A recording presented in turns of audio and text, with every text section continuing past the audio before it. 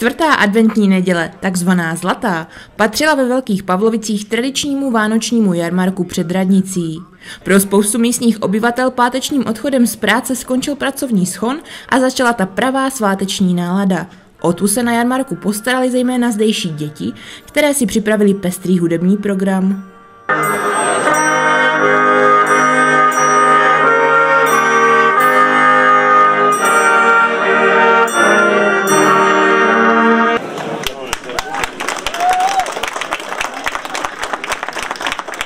Organizátorem hlavním je město Velké Pavlovice, eh, pomáhá nám se stánkama paní eh, Pavelková, potom tady máme samozřejmě zvukaře a moderátora Tondu Šefra.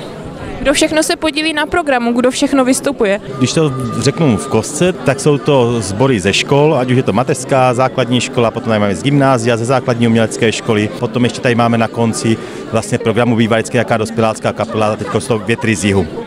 Myslím, ne, že bychom se na tom úplně zakládali, ale nemá význam si myslím to roztahovat někde do ulic a dělat eh, z toho veliké trhy. Spíš, že to jako by to mělo být pro ty domácí, aby se sešli, aby se podívali na vystupující, aby si dali svařák a poklábosili před Vánocema.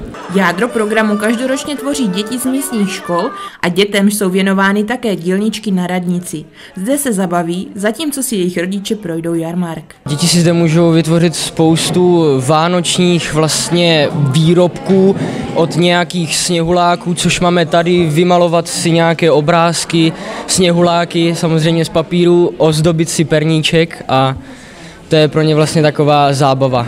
Na starosti má naši dílničku paní Čelka Bukovská, učitelka na naší základní škole a dělá to už mnoho let.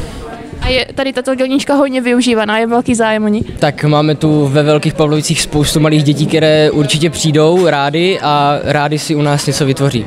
Neodmyslitelnou součástí jarmarku každoročně také je vypouštění balónků s přáním pro Ježíška. Je pravda, že letos, co byly eh, ty zelené a hnědé, tak eh, myslím ještě nebyly, co si pamatuju, ale, ale příští rok uděláme jenom jednu barvu, protože si potom děcka vymýšlejí, že chcou hnědou nebo zelenou. Jo? Tak příští rok bude zase nějaká, ale jenom jedna asi.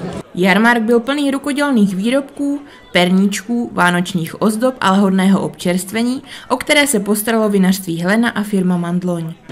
Já se zeptám, co tady dneska připravujete? Vlastně zabíjačku a se zabíjačkem základní věci, guláš. Ovár, černá polívka, zelňačka, všechno jsme vlastně si rozvařili včera a dneska vlastně to vydáváme za symbolické ceny 20 korun. Je to takový e, vánoční pro občany Velkých Pavlovic. A vy to děláte každý rok, se tady? Ano, už čtvrtým rokem a děláme to vlastně jako rodinná firma.